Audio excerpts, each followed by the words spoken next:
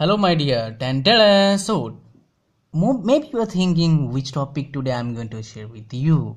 Okay, here is it. It's constant temperature process. But today I'm going to share with you expression how to find out work done in this process. How to find out work done in this process in case of closed system work or in case of this the another name of this is closed system work or non-flow process. Non-flow process. Okay now let me share with you another thing. What is the other name of constant temperature process? That is the other name of constant temperature process the other name of constant temperature process focus listen to me. The other name of constant temperature process is isothermal process isothermal process. Uh, if you if you have studied or if you have been taught by someone uh, this topic then definitely you have seen this delta t is equal to 0 or you have also seen this that delta t uh, I mean tf minus ti is equal to 0 this is f means final. This uh, i means initial. But today Today, I am going to share with you how to derive the formula for finding out work done in this process for this one. Sound interesting? Okay, let's go for it. So I'm going to draw a diagram. This is known as PV diagram. P for pressure and V for volume. Okay, let okay now you can see so here i am drawing a pv diagram and this is a uh, now this is a constant i mean constant temperature process and uh, this is known as rectangular rectangular hyperbola hyperbola hyper okay i'm sorry for this I, mean, I, I hope you understand you can listen to me too uh, okay. Now we know that according to ideal gas equation pv is equal to mrt if I will consider if I will consider m is equal to 1 kg that means I am considering I am considering unit mass for finding out work done for constant temperature process or isothermal process. Well wait wait wait. I am going to share with you another thing. How to remember that isothermal process is a constant temperature process. Okay if you have if you are having little bit knowledge about engineering then you can get my point.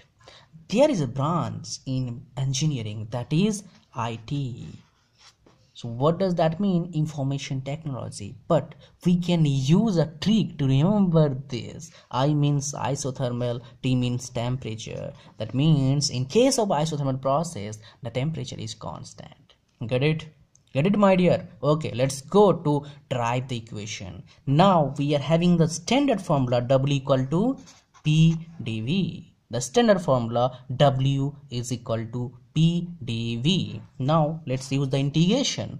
Let's use the integration. What is it? What is it my dear? It's vi and vf vi this is this is one that means initial and this is two that means final. Okay? So now let's do another thing. We know pv is equal to constant okay? So we can also say p1 v1 is equal to p2 v2 p initial v initial is equal to v, p, uh, p final and v final also we can say because 1 means initial 2 means 2 means final. We have to consider these things in case of thermodynamics or anywhere or any subject where process is changing to avoid confusion while solving numerical problems. Okay now let me let me share with you how to do here. So we know that this is this that means that means p is equal to c upon v. So just put this value here. Okay now vi vf c upon v dv got it? Now see let's just take this out because c is constant. So vi okay vi vf dv got it? Now what i have to do okay dv b is be there? Okay. Now as, as you know this is the concept of integration. This will be natural log. Now c ln natural log vf minus i mean vf by vi and we know c is equal to what? P v. That means p initial and v initial ln ln or natural log I mean vf upon vi also this is the term i have written this term uh, this uh, this uh, formula as in the term of volume. If you want to write in the term of pressure then how can how you can write? That would be just nothing. Because we know we know p1 v1 is equal to p2 v2 this will be reverse. So pi vi in sorry ln p initial by P final. Now remember my dear friend, this is one of the best concept, one of the best trick I am going to share with you. Best trick. Remember this formula while solving any competitive examination because most of the time where we get confused that how to do it that means we know PIVI is equal to PFVF okay?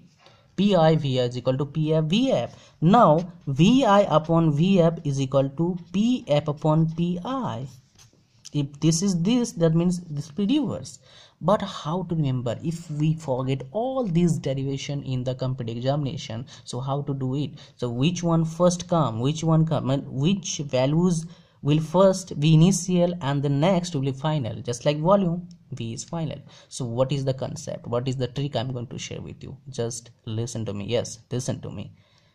In english alphabet which one come first? P or v?